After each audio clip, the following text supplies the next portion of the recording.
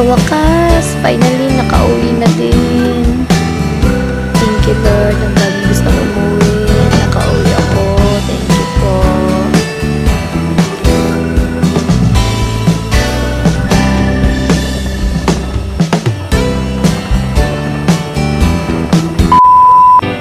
Teka, teka, balikan natin kung paano ako nakauwi dito. Pakinggan nyo. So, need natin kumuha ng travel pass.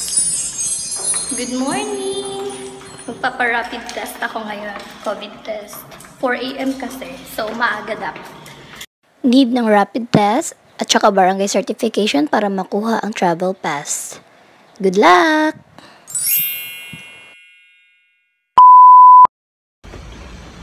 I'm here at the barangay.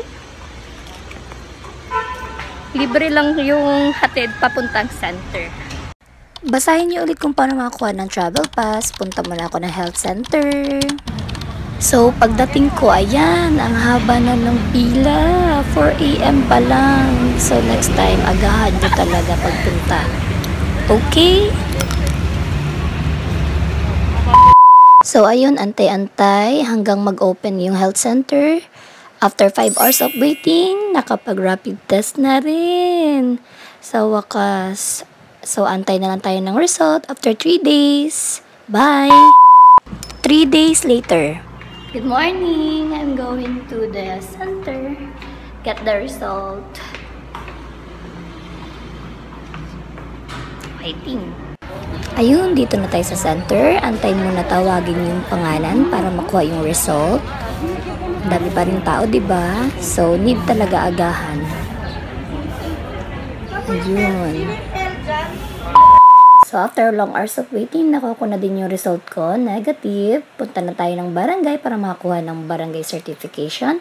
At punta tayo ng station 9 para mapasa to at waiting na naman ng 3 to 5 days para makuha ang travel authority. After 5 days of waiting, nakuha ko na yung travel authority ko. Take note lang po, kailan po natin ang plate number, name of the driver na maghahatid sa inyo sa airport po. Thank you! Ayun, yung pinakahihintay kong flight. Nandito na ako sa airport. Flight ko na talaga. Maaga pa ako sa maaga. Stay tuned. Bye-bye! Ah, Baggage na. Timbangin na yung baggage natin. Yay!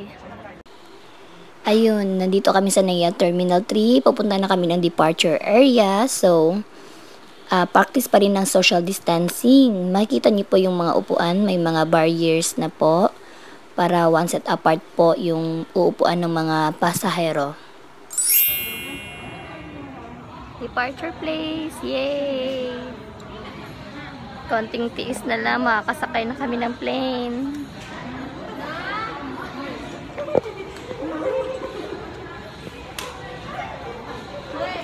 daming gustong umuwi.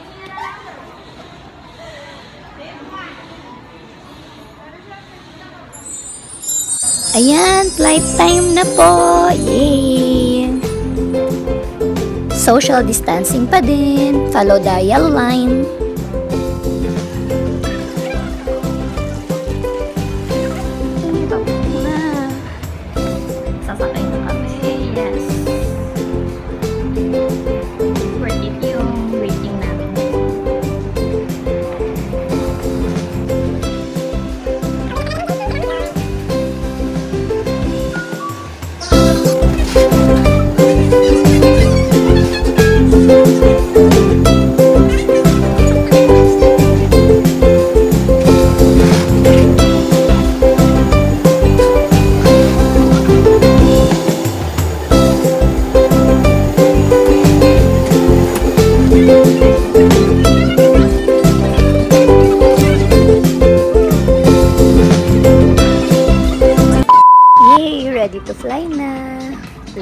Katabi, the whole journey. Haha. Keep safe everyone! Wala akong katabi pero may kaharap ako sa plane. Tingnan nyo.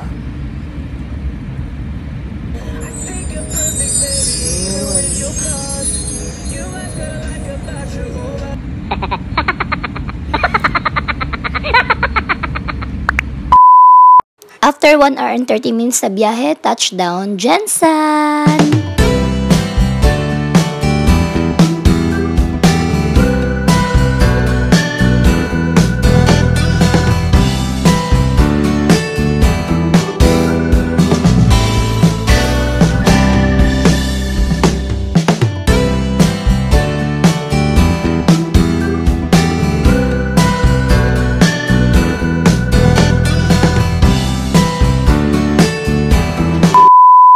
Pagdating namin ng airport ng Jensen, sasalubungin po kami ng mga taga-social workers para po ah, i-assist kami yung mga OFWs at saka yung mga local po na, na dumating nung araw na yon.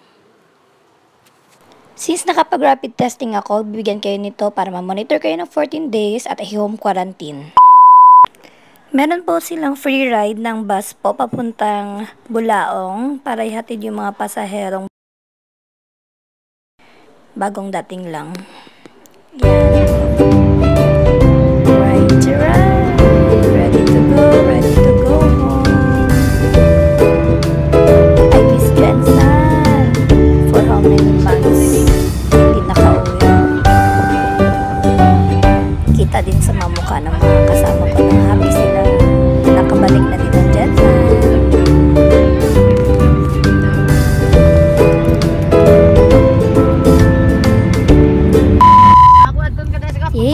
Ako ng mama ko. Pakinggan niyo ang daming cheka. Miss na nila ako, di ba? Asa ba naliwat? Going home. Secret Home quarantine pa ng 14 days. Thank you for watching.